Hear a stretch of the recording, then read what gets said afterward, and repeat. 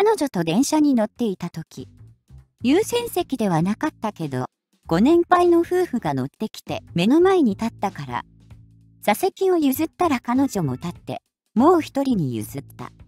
そして、二駅先譲ってから約5分で下車したんだけど、電車を降りた途端に彼女が切れてきた。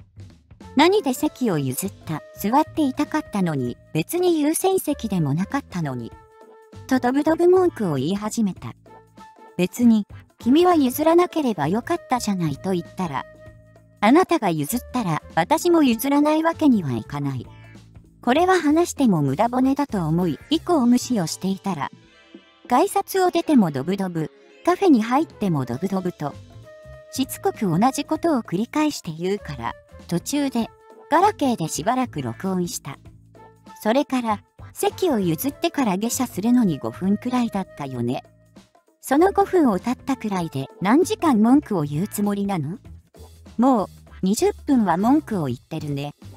と指摘したら黙ったけど、お年寄りが目の前で立っていても、5分程度経つ優しさもない人とは思わなかった。幻滅した。と別れを告げた。後日、確かに文句を言ったのは悪かったけど、そんなことくらいで別れるなんてと、女友達を二人も引き連れて復縁要請が来た。しかし話を聞くと、足が痛かったのに私には優しくしないで、赤の他人に良い顔をして席を譲らされたみたいなことになっていた。女友達二人は頭ごなしにこちらを責めるのではなく、まず、あなたの言い分も聞きたいと。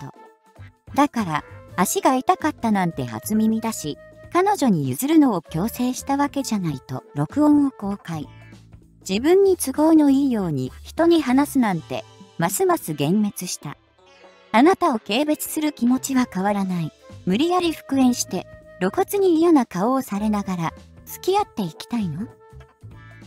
と言ったら、彼女、元は顔を真っ赤にして泣き出した。友達二人はまともで、何回も謝った後、元カノを回収してった。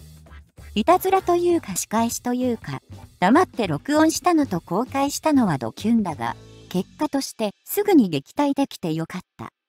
これは10年ほど前の話で、あの時の女友達二人のうち、片方が今の嫁です。元カノとは数年後に嫁を通して和解した。全くの偶然で、嫁のいとこの奥さんに収まっている。どっかのコピペみたいなんだけど、世間は狭いな。